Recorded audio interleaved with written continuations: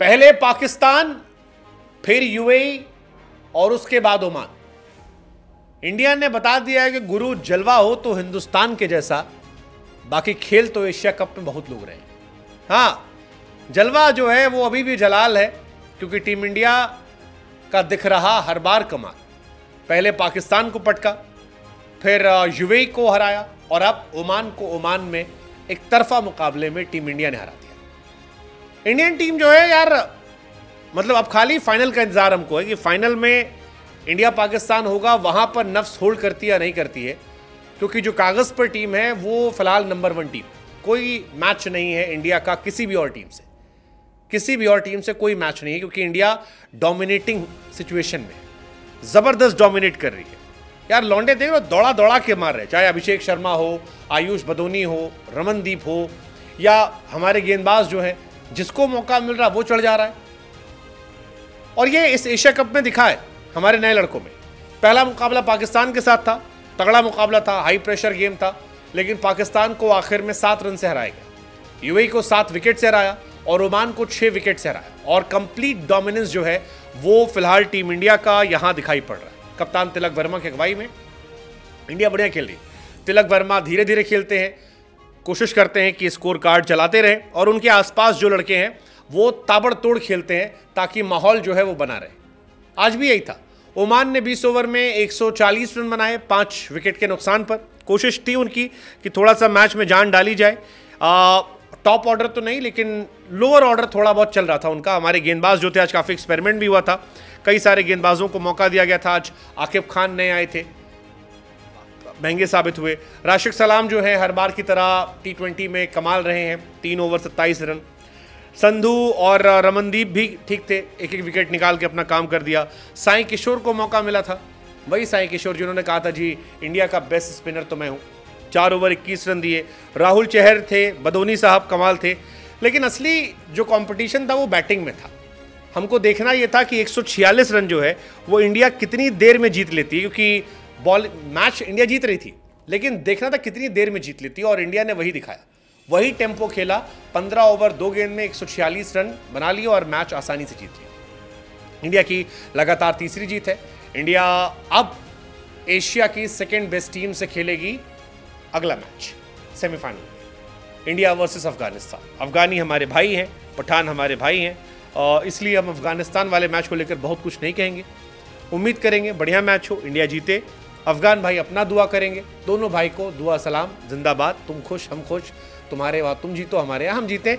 Overall हम चाहेंगे, हम जीते फाइनल मिले फाइनल में क्या हमें पाकिस्तान मिलेगी? चांसेस ज़्यादा है, हो सकता है। श्रीलंका शायद उन्हें हरा कर पहुँचे। लेकिन फ़िलहाल कहानी ये है कि इस मैच में हुआ क्या? तो इस मैच में हुआ ये कि इस मैच में दो लड़कों ने कमाल दिखाया। एक, अभिषेक शर्मा आज अनुज रावत को मौका मिला था आरसीबी ब्लड लेकिन आ, कोई खास कमाल वो कर नहीं पाए। ग्यारह गेंद पर आठ रन बनाए टुकुर टुकुर खेल लेते फिर आउट हो चले गए। डिसअपॉइंटमेंट रहा। लेकिन अभिषेक शर्मा बता दिया उन्होंने कि भैया हमको एक तरह खेलना आता है और वो है आओ मारो जाओ। अभिषेक शर्मा फिर यही किए।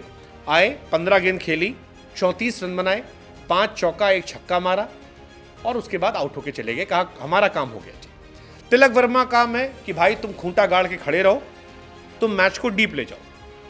और तुम्हारे साथ वाले मारेंगे, क्योंकि हिटर हमने भरे रखे हैं, हमारे पास आयुष बदोनी है। क्या बढ़िया मैच खिलाया पच्चीस बॉल पे लड़के ने शतक लगाया। छः चौका, दो छक्का, एक सौ अठासी का स्ट्राइक रेट लेकिन सबसे खास था चौबीस रन वाला ओवर भाई ने पहली बॉल पे सीधा चौका मारा सेकेंड बॉल पे रिवर्स मारा थर्ड बॉल को फिर लॉफ्टेड शॉट मारा, फिर सीधा छक्का मारा, फिर रिवर्स मारा। गजब बैटिंग थी यार, वो बदोनी साहब की 24 बॉल पे। और आयुष बदोनी इससे पहले भी दिल्ली वाले टूर्नामेंट में अच्छा कर चुके थे। बढ़िया बैटिंग की थी उन्होंने और दिल जीता था। तो मुझे लगता है कि वो कमाल था। बाकी आखिर में रमनदीप सिंह का तड़का। रमनदीप सिंह यार कमाल के प्लेयर हैं। मुझे कई बार लगता है कि रमनदीप काफ़ी अंडर रेटेड है चार बॉल खेली, तेरह रन बनाए और अगले बड़े ऑलराउंडर रमनदीप हैं। 325 के स्ट्राइक रेट आप फील्डिंग करवा लीजिए। रमनदीप का कोई तोड़ नहीं है। आप बॉलिंग कोई तोड़ नहीं है, बैटिंग कोई तोड़ नहीं है। इस लड़के में दमखम है। आयुष बदोनी भी मुझे लगता है कि अब बॉलिंग भी करते नज़र आएँगे। ये लड़कों को दिखाया और इन लड़कों की बैटिंग का सबसे बड़ा फ़ायदा क्या रहा है?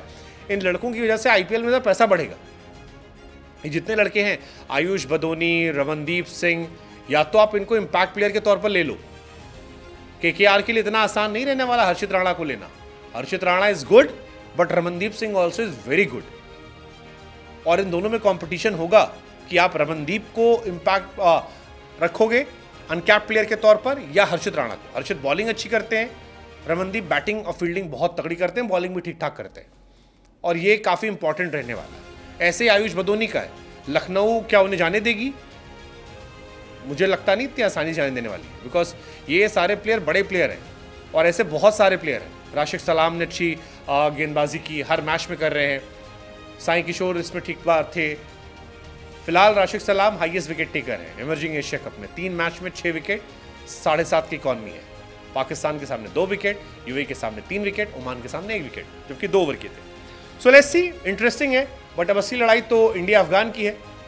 उम्मीद करते हैं, पठान भाइयों से लड़के मज़ा आएगा। और वो जीते, हम जीते। हम हम चाहेंगे हम जीते, वो अपने लिए दुआ करें।